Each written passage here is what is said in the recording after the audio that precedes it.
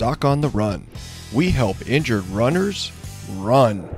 Do you really need custom orthotics if you're a runner? Well, that depends. Now, this episode really comes from a question that was sent in from Charlie in Dubai. And so, Charlie, thanks for sending this question in. I really appreciate it. It is a great question.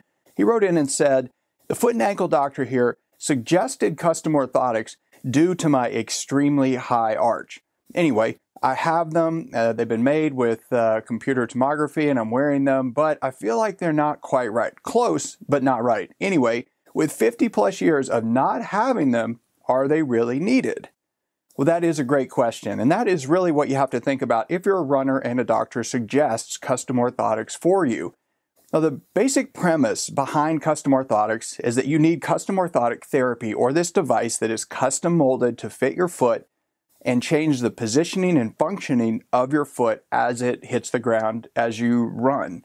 So, there's basically an underlying premise that you are in some way biomechanically flawed, you're somehow, you know, anatomically defective or permanently broken. So, Charlie brings up a good point here. You know, if he's had 50 years with no trouble, why does he all of a sudden need custom orthotics? You know, how long have you been running without trouble? That's one thing I often ask people who, you know, I see and they say, well, some doctor said I have to have custom orthotics and you know, they said because of my foot the way it is, I need I need to have custom orthotics in order to support my foot to protect me from trouble.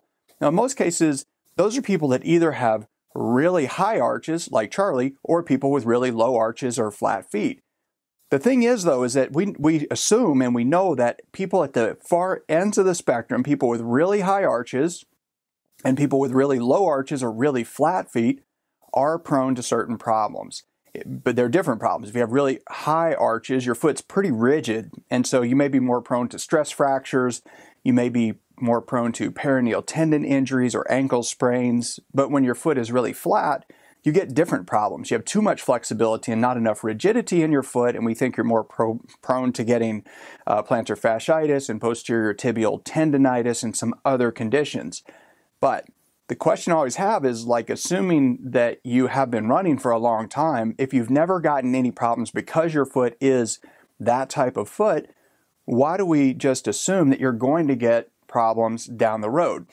So, if you don't have problems, I don't really see why you need custom orthotics, at least not for most people. Maybe something happened. Maybe you got an issue with tendonitis or you got a stress fracture or something happened.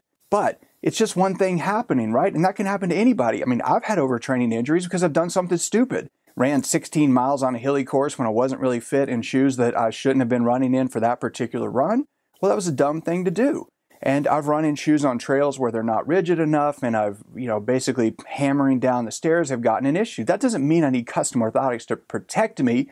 Maybe I need a coach to protect me from doing stupid things to myself but I don't need custom orthotics necessarily to support my foot and hold it in a corrected position to protect me from foolish behavior.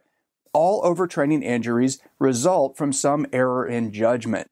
You know, if you do the training plan yourself and you put the wrong kind of workouts back to back, then you can get into trouble. If you uh, if you do the right kind of workouts with the right spread of time between them, you recover in between and you don't get it injured. But if something happens, you know, you change direction unpredictably because of a dog or the way you land on a trail or some obstacle in the road that you hit, then you could get an injury because you're already about to get injured. And most runners, as they train, they're always about to get injured.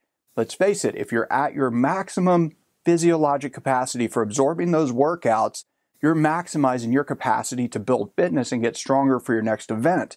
However, if you cross over that line because you run a little too far, or you run on a surface that's a little too irregular, or it just happens to be a lot muddier than normal and you have to exert more force as you do that particular run, it then translates into too much force that pushes you over that line where you cross your threshold for injury and you get an overtraining injury. But it may have just happened once. So if it works that you, you know, you back off your training and you do the stuff that you need to do and you heal it, are you really still broken in terms of your underlying biomechanics. And there was an interesting quote I saw one time from uh, a guy who wrote a book on barefoot running. Now, he runs barefoot. If you run barefoot, custom orthotics don't really help you. They go in your shoes. They don't work if you're running barefoot. But he said, don't trust the man behind the curtain who is selling custom orthotics. And there's a lot of truth to that, right? So you need to think about people's underlying motivation. And granted, every doctor wants you to get better, but at the same time, doctors are selling products and services that they make a profit from. And so, you know, you have to ask the doctor many times, say, okay, well, look, you know, if if I have custom orthotics because I got injured, can't I use orthotic therapy at, for a period of time the same way you would use a fracture walking boot or a cast or crutches for a period of time to help you, you know, get some additional stability to protect you so that injury can heal faster for a sort of determined period of time, not forever. And your doctor may just say, well, yeah, that makes sense. You know, you can use these for a period of time. It'll get you back to running sooner. It'll help you train more now. It'll protect you a little bit more now, but then you may not need them forever. So that's really important. You know, you really um, have to just decide whether or not you do need them in long term because your foot is prone to getting the same kind of injury over and over and over, or if it's a thing that can help you just by protecting you a little bit to keep your activity level up while you continue to heal so that you can then get back to running and training without any issues. But remember, once you're healed, in all likelihood, you're back to your actual baseline where there isn't really that much issue of applying excessive forces that are going to predispose you to another one of those injuries. So the truth is that I don't think most runners need custom orthotics. I do not make orthotics for most of the runners I see, and I see runners all day long. I talk to runners all day long, and most of them, in my opinion, do not need custom orthotics. So the thing that you can think about is that if you've been training, running, you know, you've been active for 50 years, you've never had any problems, then you get one overtraining injury, that's a mistake in training. That's something that happened that doesn't mean that you're biomechanically faulty or you would have had problems for years. If you're getting posterior tibial tendonitis over and over and over and over, yeah, you might need custom orthotics. If you're getting stress fractures over and over and over, you need to think about what you're doing in training and see if there's something you can modify. You may think about your shoe type first. And if those things aren't sufficient to address it and you're still getting stress fractures, then yeah, you might need custom orthotics. But everyone does not need custom orthotics. So Ask your doctor the right questions, and you'll be sure that you can get back to running sooner and hopefully get back to running without custom orthotics. Doc on the Run. We help injured runners run.